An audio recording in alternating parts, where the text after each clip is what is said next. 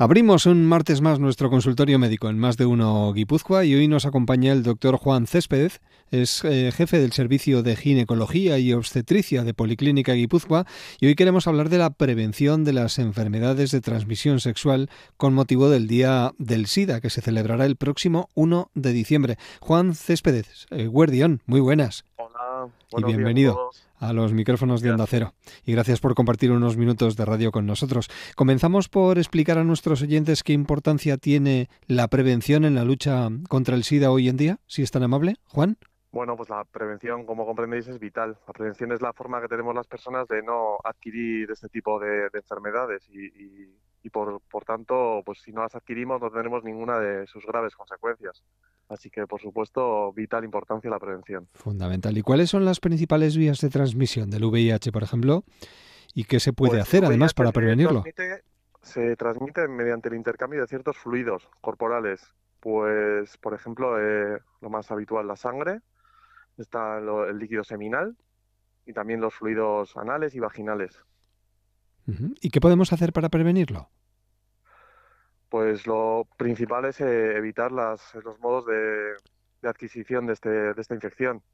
Las principales vías de, transmisión son eh, las relaciones sexuales y también eh, el compartir productos en los adictos de drogas por vía parenteral. Entonces, evitando las formas de, transmisión es la, obviamente la mejor, la mejor prevención. Y la segunda, pues poner métodos barrera en el caso de las relaciones sexuales, pues si ponemos métodos barreras, la forma más sencilla y más eh, más eficaz de, prevenir la transmisión. Métodos barreras son eh, pues el preservativo, claro. ¿eh? más, conocido. El preservativo masculino es el más conocido. Pero también lo hay preservativo femenino, por ejemplo, pero bueno, por ser lo más práctico posible, lo más conocido es el preservativo masculino. ¿Y, y con qué frecuencia recomendaría hacerse, por ejemplo, pruebas de detección VIH y por qué es importante hacerlo periódicamente? Vale, pues eh, habría que hacerse pruebas de, detección eh, en casos en los que hayamos eh, tenido contacto con estas vías de, riesgo, estas vías de transmisión que hemos acabamos de comentar.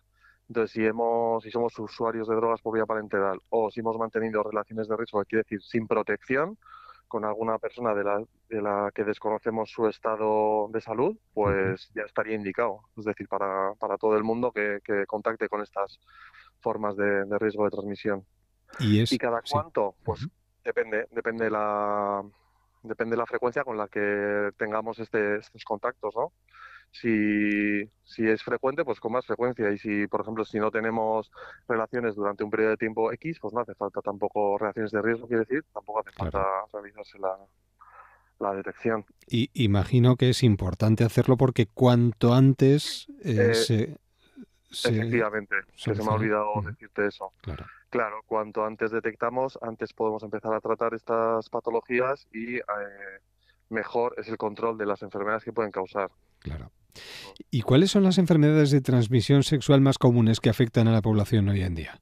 Vale, en ese punto sí que es igual un poquito importante porque la gente confunde eh, hablar de ITS, que es infección de transmisión sexual, y de ETS, que es enfermedad de transmisión sexual. Las ITS son eh, infecciones que no siempre tienen por qué generar enfermedades, ¿vale?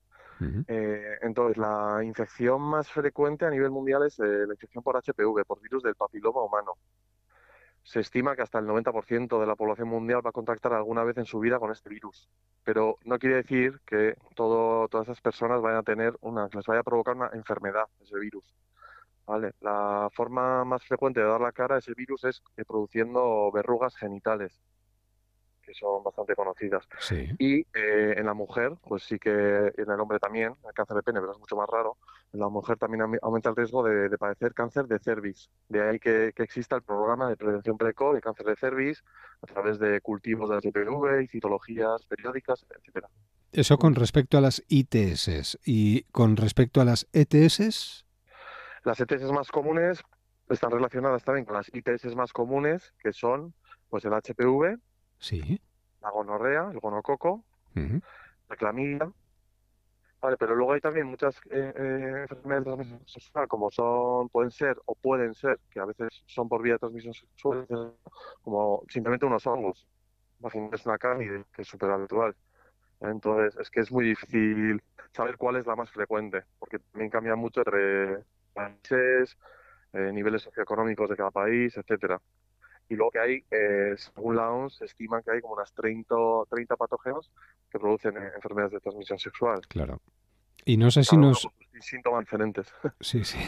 No sé si nos repetimos de alguna manera, pero ¿qué métodos de protección son los más efectivos para evitar contagios de enfermedades de transmisión sexual? Juan. Pues, pues sin duda el más efectivo y el más fácil de usar es el preservativo. Vale. Esa pregunta hay que ser directo. ¿Y qué signos o síntomas deben alertarnos o deben alertar a una persona sobre una posible ETS? Bien, pues como hemos dicho, como hay tanta variedad de patógenos, pues también hay mucha variedad de síntomas. Claro. Pero bueno, así en general, eh, cualquier cambio del flujo vaginal en cuanto a cantidad, eh, consistencia o color, por ejemplo, las molestias a nivel de, de vagina, las, molestias al orinar, el escozor al orinar que decimos también, todos esos síntomas eh, tienen que hacernos consultar con el ginecólogo o la matrona. Y luego también eh, puede dar síntomas eh, a modo de fiebre, dolor abdominal. Muy bien. ¿Y qué pasos deberíamos de dar o debería de dar aquella persona que cree haber estado expuesto a una enfermedad de transmisión sexual? Imagino que acudirá al especialista lo antes posible. Eso es. Eh, acudir al especialista y, y, actuaremos en función de lo que nos cuenten. Es diferente pues que la paciente esté asintomática y lo que quiera es hacerse alguna prueba de detección para ver si en algún momento ha tenido algún contacto de riesgo, que la paciente venga, por ejemplo, por determinados síntomas, en los cuales, pues en función de qué síntomas tenga, pues haremos las pruebas dirigidas en concreto a esos síntomas o a lo que estemos buscando. Muy bien. Lo recordamos en nuestro consultorio médico. Hoy hablamos sobre la prevención de las enfermedades de transmisión sexual con motivo del Día Mundial del SIDA, que se celebra el próximo 1 de diciembre, y estamos charlando con el doctor Juan Céspedes, que es jefe del Servicio de Ginecología y Obstetricia de Policlínica Guipúzcoa. ¿Hay diferencia en cómo afectan estas enfermedades a hombres y mujeres? Juan. Sí, hay diferencia. Al final los genitales de, de sexos pues son diferentes y la forma de limpiar estas enfermedades o de que se nos pasen eh, es diferente. Eh, muchas de ellas, en el caso del varón, pues se eliminan algo más fácilmente, ya que buena parte de nuestros genitales pues son externos. Eh, y claro, luego no tenemos, son diferentes intrínsecamente, entonces no tenemos pues, flujo vaginal, todo esto, todo esto, pues nosotros los, varones pues no lo podemos eh, padecer. Pero en general, cuando luego hay síntomas también comunes, como puede ser escozor original, picor en, en, en, los genitales, todo eso también puede ser común. ¿vale? Vale. El día 1 de diciembre se va a hablar mucho de, del SIDA. Eh, ¿Qué papel juegan eh, en este caso, por ejemplo, la educación y la sensibilización en la prevención de las enfermedades de transmisión sexual y el VIH? Pues bueno, yo creo que clave también, vital. Al final, eh, que hagamos prevención depende de la educación. Y las ETS, tanto las ITS, las infecciones como las enfermedades de transmisión sexual en el mundo están aumentando en la última decena de, años. Entonces, eso es que la educación algo está fallando, claramente. Eh, hemos bajado la guardia en ese sentido. Hemos bajado la guardia, eh, creo que estamos eh, haciendo, seguro, hacemos educación y, hablamos de los métodos de prevención, pero igual informamos de una manera un poco laxa o no fuerte. Yo pongo el ejemplo a veces de, de las cajetillas de tabaco, ¿no? Yo creo que las imágenes son muy explícitas y a todos nos alarman pues en cuanto a las infecciones de transmisión sexual, pues igual no lanzamos los mismos mensajes tan contundentes. Y al final, una cosa que parece muy, muy liviana, una pequeña infección, una clamidia, un orococo, que ponemos un antibiótico y se puede tratar una semana, sí, pero te puede condicionar una esterilidad de por vida, por ejemplo. Entonces son, son patologías que la gente no quiere padecer de por vida y si lo supiera igual se lo tomaría más, mucho más en serio el tema de la prevención. Claro.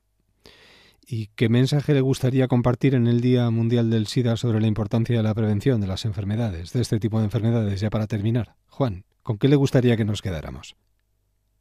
Pues con las dos cosas que hemos hablado, yo creo que al final, pues la educación, potenciarla al máximo, lanzar mensajes más contundentes que, que lleven más a la, gente joven, sobre todo, que es la que te puede condicionar la infección pues toda la vida. Y, y, luego, en cuanto a la prevención, pues por favor, eh, usemos todos al máximo eh, el preservativo cuando tengamos relaciones con personas que no conocemos eh, en ese momento, pues su, su estado de salud. Claro. Es sencillo de utilizar y es el más eficaz eh, que existe a ese nivel. Sentido común y ante cualquier duda ponerse en buenas manos. Y ahí está, por ejemplo. Común de los sentidos, sí, sí, sí, a veces desgraciadamente así es. Y ahí está el servicio de ginecología y obstetricia de Policlínica Guipúzcoa y ese número de teléfono al que podemos llamar ante cualquier duda, que es el 943 00 27 21. Juan Céspedes, gracias por compartir unos minutos de radio con nosotros y que tenga una buena jornada. Hasta una próxima ocasión. Un placer, como siempre. Un abrazo, hasta pronto. Agur, agur, agur.